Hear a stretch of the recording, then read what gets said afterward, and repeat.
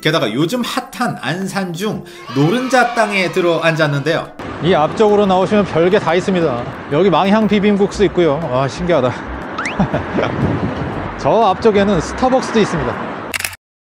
찍사홍의 전원마을 답사기 오늘 가볼 곳은 경기도 안산시 상록구 이동 송호마을입니다. 호저 탐대 인프라 가격이나 모든 조건이 완전히 똑같다고 할 때 여러분이라면 어떤 것을 선택하시겠습니까? 중간이요. 네, 저도 사실.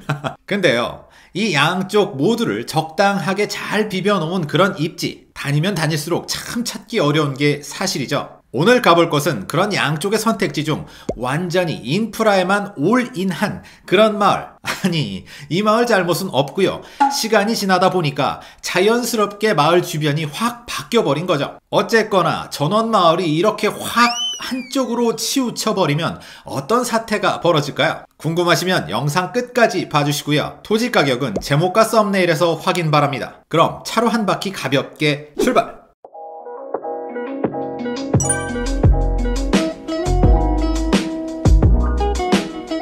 아하 웃고 있어도 눈물이 난다. 경기도 안산시 상록구 이동 송호마을을 한마디로 표현하면 이렇습니다. 완전히 도심 속 빠꼼히 자리한 전원마을 게다가 요즘 핫한 안산 중 노른자 땅에 들어 앉았는데요 오늘 돌아볼 곳 지도로 보면 여기입니다 야 참 대단하죠 저는 이런 곳에 전원마을이 있는 줄도 아예 몰랐습니다 워낙에 아파트, 빌라, 상업지구로 촘촘한 동네니까요 척 봐도 동네에서 형님 소리 들었을 법한 마을 한세월 호젓하고 여유로운 전원 마을이었겠죠. 하지만 지금은 제가 느낀 이 마을의 첫인상 왠지 모르게 참 피곤하고 지친 모습이었네요. 야, 척 보기에도 주차된 차들 정말 많죠. 이따 걸어가면서 또 보시겠지만 동네 전체가 완전 주차장이더군요. 자, 마을 안으로 들어왔습니다. 중간중간 빈 땅들도 있긴 있네요. 집들이 빼곡해서 하나도 없는 줄 알았는데 말이죠. 어라! 동네가 여기서 끝입니다. 마을이 보기보다 꽤 작죠? 확인해보니 약 80여 가구 들어와 있다네요. 그나저나 이 동네 살면 저 주차금지 표지판만은 완전 필수템인 듯 시국이 시국이라 그런가요? 마을 전체도 무척 조용했습니다. 이쪽으로 한번 가볼까요? 어? 저기 학교가 그냥 있죠? 저렇게 그냥 담장도 없이 대놓고 마을과 붙어있는 게 글쎄요 아이들 때문에 살짝 시끄러울 듯도 하고요. 건물 디자인들이 참 푸근하죠. 평균 10년 이상은 돼 보이는 외관들인데요. 돌아보니 신축 건물은 참 찾기 어려웠습니다. 그 얘기는 뭔가 거래 자체가 잘 되지 않는다는 뜻이겠죠. 아 잠깐만 저쪽은 길이 없어 보이죠? 여기서 돌려야겠네요. 동네가 오래돼서 그런가요? 확실히 도로 폭이 굉장히 작습니다. 게다가 불법 주차가 완전히 만성화돼서 차선 하나를 그냥 차량들에게 내주고 있는 상황이네요. 차로 천천히 움직이다 보니 이것저것 궁금한 게 생겼습니다. 도로 좋기로 소문난 안산! 마을 주변 고속도로 상황은 어떨까? 또 지하철역까진 걸어서 갈 수 있나?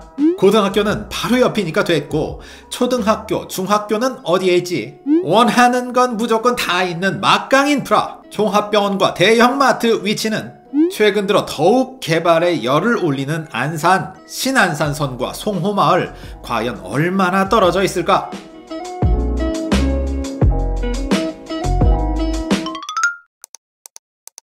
이 정도면 대략적인 이 마을 분위기는 파악되셨을 겁니다. 그럼 아까 떠올렸던 그 작은 질문들 저와 함께 직접 걸어보며 확인해 보시죠. 출발!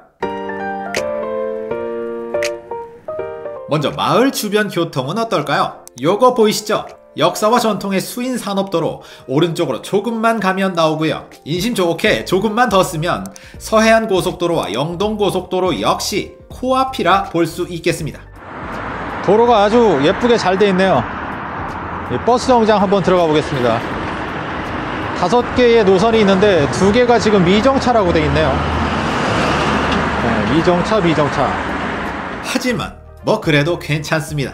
우리에겐 지하철이 있으니까요. 일단 가까운 지하철역부터 가보죠. 아 물론 걸어서. 지금 정면으로 보이는 것이 한대암역입니다. 지금 보시는 것처럼 4호선하고 수인 분당선 두 대가 왔다 갔다 하고 있고요 이쪽이 한대암역 상권이고 어, 저쪽에 이정표가 있는데요. 이 이정표를 보면 760m만 가면 송호고등학교, 그러니까 송호마을이 있다는 뜻이죠. 한마디로 말해 여기서 마을까지 걸어서 충분하다. 뭐 그런 뜻. 지도로 확인해 볼까요? 보세요. 반경 700m 안쪽에 확인되시죠 어라 조금만 더 넓히면 중앙역까지 두 역 모두 걸어서 15분 코스. 아니 전원주택의 더블 역세권이라니. 아우 아 그래서 비쌌던 거구나. 하지만 여기서 끝이 아니다. 추가로 신안산선까지. 가만히 있어봐. 그럼 하나 둘 셋 triple 역세권. 요건 조금 있다가 다시 얘기하죠. 저는 지금 마을에서 가장 높은 곳에 올라와 있는데요.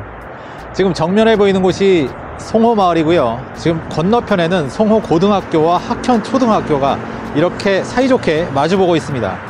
동네 입구가 학교라 그냥 넘어갈까 하다가 마침 중학교가 이빨 빠진 것 마냥 톡 빠져 있어 살포시 추가해봅니다. 바로 송호중학교 큰 길 건너 개천 건너 약 20분만 걸어가면 등하교 가능하네요. 시청구청이 동네 앞마당이니 인프라 따져 뭐 하겠습니까? 그냥 말씀만 하세요. 뭐든 다 있습니다. 종합병원 여기 고대 안산병원 차로 10분만 가면 나오고요. 대형마트 입맛대로 골라갈 수 있는데요. 큰 길로 10분만 가면 롯데마트, 살짝 돌아 10분 가면 홈플러스가 척하니 나옵니다. 이 앞쪽으로 나오시면 별게 다 있습니다. 여기 망향 비빔국수 있고요. 와 신기하다. 저 앞쪽에는 스타벅스도 있습니다. 신기하게 카센터도 많고요. 저쪽에 보시면 고물상도 있습니다. 또 카센터 있고요. 또 카센터 있고요. 이상하게 동네에 카센터가 정말 많네요. 안산 최근에 확실히 주가 상승 대체 왜 그럴까요? 그게 다 현재 한창 공사 중인 신안산선 덕분이죠. 마을 중심으로는 이렇게 연결되는데요. 2024년 완공되면 여기 송호마을에 지하철역 하나 추가요! 이로써 triple 역세권 당당하게 완성! 하지만 어차피 중앙역도 지나니까 굳이 멀리 나가서 이용할 일은 별로 없겠죠. 그 외에도 GTX, KTX 등 철도 관련 호재가 줄을 잇고 있는데요. 요런 건 아무래도 전원마을하고는 거리가 좀 있어 여기선 생략하도록 하겠습니다.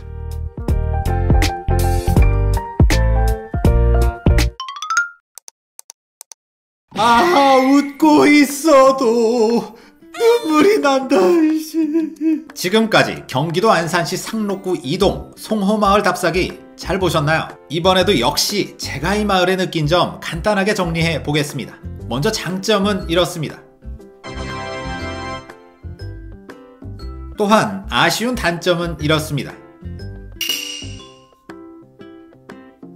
참 이상하지 않나요? 이 마을은 유독 장점과 단점이 완전히 극명하게 대비되는 것 같죠? 그 이유 바로 이 두 가지 때문입니다. 첫째, 가격은 주변 상황, 즉 입지에 따라 자연스럽게 오르고 내린다는 점. 둘째, 여기는 거래가 참 힘든 단독 전원주택이라는 점. 이제 왜 제가 웃고 있어도 눈물이 난다고 하는지 아시겠죠? 그럼 여기까지 언제나 시청해주셔서 감사합니다. 주거독립 만세!